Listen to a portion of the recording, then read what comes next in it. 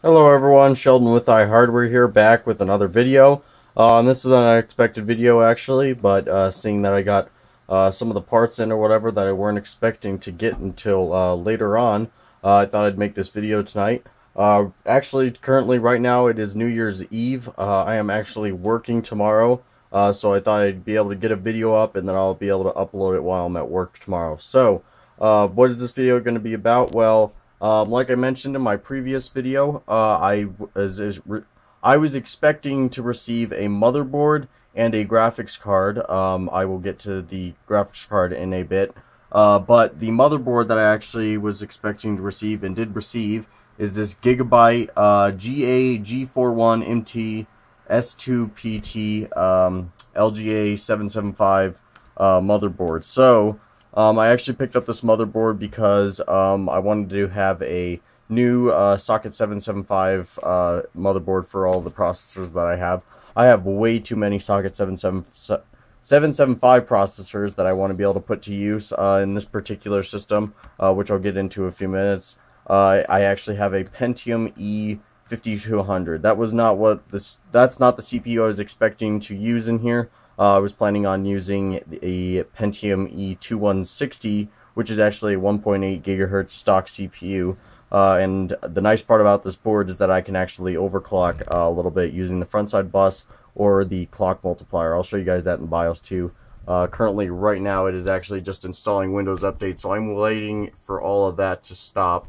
Uh, hopefully, it'll stop once I get into it in a few minutes. So, um, currently, right now, uh, like I said, I have the Pentium E2, or not the E2160. That's the CPU I plan on using. For some reason, it didn't want to post as a system. It might be dead. I don't know. It came out of a trash pick computer.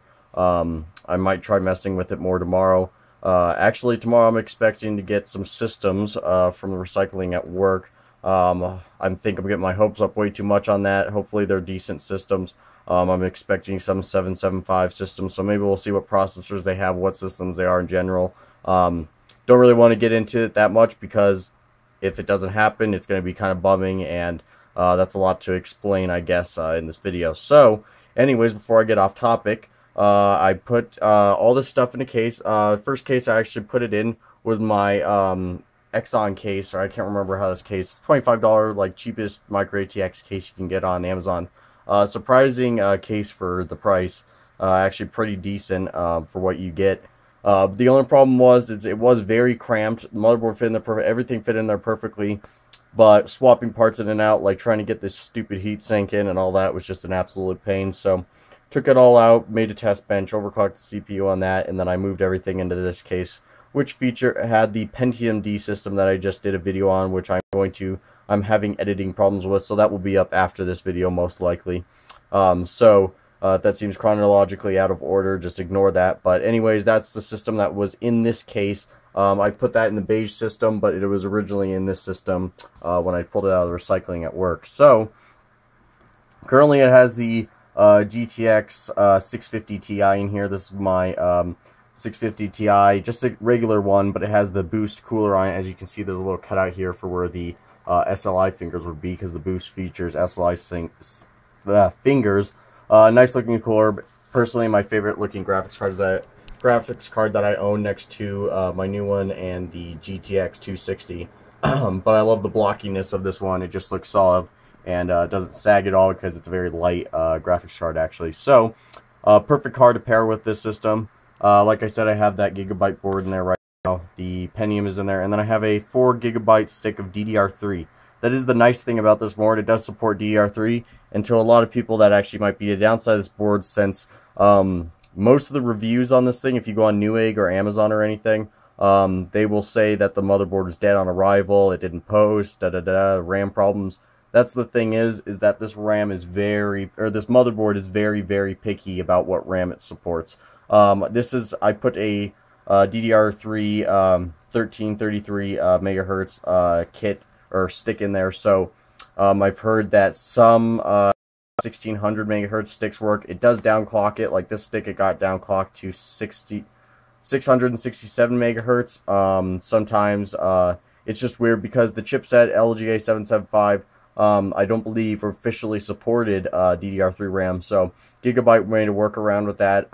Actually did a pretty decent job in the fact that a lot of DDR3 sticks work with it um, is actually pretty shocking to be honest. So uh, it also definitely helps improving with overclocking and stuff like that. The only downside right now is that I only have one stick in there, so it's not in dual channel. So I'm going to pick up an 8 gigabyte kit, get that thrown in here.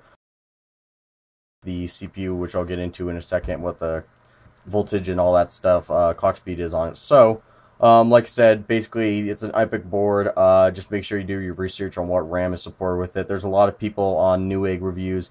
Uh, I think it was one of the first reviews actually stated RAM kits that do support work on this board. So check that out if you're ever looking at picking up this board. I highly recommend it because it is a brand new LGA 775 board. Uh, it's supported under Windows 7. Um, I haven't tried running 10 on it uh, right now. Currently, I just put Vista on it. I was running 7 on before, but I wanted to have a period correct OS. Uh, maybe do some more messing around with Vista. Also, I have my Windows Vista Ultimate key laying around, so that's why I threw it on there. Uh, it's still doing a bunch of these updates right now, so I'm just going to let all that go. Uh, I'll just split this video over into the other section. But um, what I can show you guys, actually, is the... Sorry if there's a lot of camera shaking. Uh, I do have uh, CPU uh, Z and hardware monitor up. So, um, also maybe run some Prime 95. I don't have that installed right now. I had it installed on 7. Uh, I have um, confirmed that this is a stable overclock, not a 100% stable. I haven't confirmed that yet. Uh, I only ran uh, Prime 95 for about, about 10 minutes. it passed, I believe, four of the large tests, so it's pretty confident with that. Um, if I want to push it a little bit more, I might do that. But uh, another thing I want to do is maybe get some heat sinks to put on the VRMs before I push it any higher. I don't think the uh, core voltage is going to be enough to um, cause problems with the VRMs, but just to be sure and seeing the airflow in this case is not uh, totally the greatest. So there is the voltage and stuff right there, 1.216 volts on the CPU uh, core. Uh, that was bumped up from 0.2 is the stock voltage on this thing. So higher voltage, but I was able to get it overclocked to 3 uh, gigahertz. Um, the only thing is with this overclock is, as you can see, it says 2.5 gigahertz. That's the stock. So um, I can't remember what percentage overclock that is, but that's half a gigahertz overclock. So uh, pretty decent overclock for uh, what it is. The Pentium E2160s are those stock 1.8 gigahertz, like I was saying. Uh, people have reportedly overclocked those things up to 3 gigahertz. Um, what was it, on the stock coolers and on these G41 chipset boards and even uh, G31 chipset boards. So nothing special wise, but for like what you can get when you, uh, how cheap you can get uh, a G31 board or find if you have those laying around, it's a pretty cheap overclock. And the performance gain actually from 1.8 gigahertz to 3 gigahertz. I even saw people possibly uh, getting, I think it was up to like 4 gigahertz on the dang things. Um, incredible performance boost and it's definitely a noticeable jump. It's unlike a lot of modern overclocks where it's jumping maybe anywhere from uh, 4 gigahertz to maybe 4.5 or something like that. Uh, so those are some notable, noticeable overclocks, and this was before uh, Intel started really locking down their CPUs and stuff like that. So basically, 7.5 um, CPU, most of the times they're unlocked unless they're OEM chips. So anyways, like I said, uh, 3 gigahertz. Um, what I can show you guys, though, is the thing is I had to overclock this through the front side bus. Um, I believe this was an OEM chip, so I had to overclock it that way. Um, I activate Windows, totally forgot about that. But uh, it shows right here 2.5 gigahertz. Uh, if you had overclocked it using the core, um, uh, just core overclocking, the uh, CPU ratio overclock, uh, it would show the actual clock speed here. Uh, but since it was through the front side bus, only certain programs will pick it up as being the actual 3 gigahertz overclock like it is. As you can see there, it got up to 3 gigahertz um, or 3000 megahertz if you want to round it that way.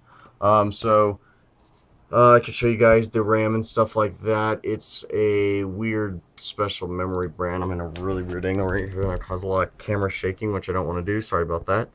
Um, let's see if I can get, uh, I might show it. I might uh, do a validate thing. I already did that though, so I don't want to do it again and overwrite the old one. Uh, but yeah, there's the chipset G481, like I said, uh, in gigabyte board. Good luck with this board. Like I said, great board. Brand new LGA 775 board, which is kind of hard to come by. The fact that they're still making them is absolutely awesome. Uh, this is the revision 2.0 model too. So uh, DDR3, yeah, 4 gigabytes. Uh, I'm going to try and get an 8 gigabyte kit, like I was saying. Uh, actually, here it is. V-Color Technology is the manufacturer. I haven't heard of them, but so far I've had good luck with this. I haven't tried overclocking this RAM, actually, so I might try that. Uh, GTX 650 Ti. Um, I haven't installed the uh, most up-to-date driver. It's actually using like the video um, driver uh, reference one because uh, on these Windows updates, which is not allowing me to run GeForce Experience and update those drivers. Uh, so under full load, the Pentium, it looks like gets up to around 51 degrees. That was under Prime 95 too. Uh, this core stays around 45. It gets at the highest it looked like. Um, so it might be some with the thermal compound, but I've noticed on a lot of 775 chips, cores always seem to be cooler than a few of the other ones. So it usually depends on the way the thermal compound is connect contacting with the uh, CPU cooler. But uh, great, these temperatures, uh, these CPUs run cool as heck, and that's why people are saying you can overclock them on the uh, stock coolers because um, the highest TDP uh, support safely is 71 degrees Celsius. So uh, if you keep it at least 65, I'd say you're probably good with a stable overclock. And at a stock cooler, that's probably the temperatures you'd be looking at right now. So um, motherboards temperature, temperature sensors are all been whacked, so I think this is the only one that's working, and that might actually be the C one of the CPU socket uh, temperatures. So uh, everything else looks fine. One point uh, CPU V core, I think that's what the actual V core is, is 1.232 volts. So I did up the voltage quite a bit to be able to get to that uh, clock. I might see a farther, maybe try 3.2 gigahertz um, but I'm pretty happy with this overclock. I can't remember exactly what um, score it got in a, uh, what was it, Performance Mark 8, uh, but I will say it was slightly faster, uh, actually, it's um, according to uh, Performance Mark, uh, or, or neck and neck more or less with the uh, Core 2 Duo E8400, which is the same clock speed, 3 gigahertz at stock Core 2 chip, so not bad at all for a neck or a bottled down or a um, what do you call that? Uh, cut down Core 2 Duo time. So love these little Pentium chips. They overclock like a little champ. Um, I'm gonna try doing some more work with this system. In fact, I'm actually thinking about picking up another one of these boards, seeing how many of those CPUs I have. Uh, and I have that spare case left over, so I can throw all that stuff in there. Uh, I might have some extra parts, and if I get that RAM, I'll have extra RAM too to throw in there. So uh, that might be fun to do. That fan right there is just hot glued in the front, actually. Uh, there's not a design fan mount there, so um, it's just there to keep the GPU cool and the uh, CPU uh, uh, cool and all that stuff because this case, to be honest, isn't designed to be running probably this high end of hardware or hot running of hardware. So airflow is decent. It just comes in, have the power supply, which is a 500 watt EVGA B power supply, and then this 90 miller Antec exhaust, which has its individual um, fan control right there. So other than that, a lot of systems that I had my Xeon build, uh, I don't know if I did a video on that, I actually don't think I did, but I have the uh, Western Digital 320 gigabyte drive there, uh, just an IDE optical drive. Um, pretty much just a simplistic build, uh, really love it, actually, love this case. It's just another one of these in Inwin V500 cases, cases which are built like tanks. Um, absolutely love Inwin's cases, actually probably one of my favorite case manufacturers right now. So, um, other than that, I think that's pretty much it, guys. Um, trying to think what I was going to do. Uh, I might actually do a quick uh, update video too on my uh, graphics card once I once I get the drivers and everything installed. Because I actually just did a clean install of Windows, I was having some problems with Catalyst mixing. Uh, I uninstalled my NVIDIA drivers and stuff like that, but I think there's still some conflicts with some other software and stuff, thinking that I still have the NVIDIA card and what's so not. So that's pretty much it, guys. Uh, I'll do some updates, or I might update the uh, description if I end up pushing the CPU more to get you guys a uh, confirmed total of what I actually got the CPU up to uh, speed-wise, and if I end up getting another board and stuff like that. So let me know, guys, if you guys want to see a uh, video of me actually doing the actual overclocking and stuff like that. Um, I was thinking about doing that, but it was so late at night when I was overclocking this thing that I just didn't feel like making a video at all. Uh, plus, everyone was sleeping. Uh, before I ramble on more, uh, just if you want to, feel free to look at all this stuff, positive uh, screen video or whatever. Um, feel free to look at all these temperatures and specs and stuff like that. Uh, I'll try and get a validation mark thing and put it in the uh, description too if you guys want to look at that. So anyways, guys, that's pretty much I'll catch you guys in the next video, which should be uploaded probably sometime tonight or um, actually, what is it? It's New Year's Eve. So uh, this video will probably actually be up in 2016, uh, January 1st. Uh, so probably the day after that. Uh, I'm to see if I can get it edited and stuff like that. I just got to get my main system up and running. So that's it guys very much for watching just past the 15 minute mark and i hope you guys have a happy new year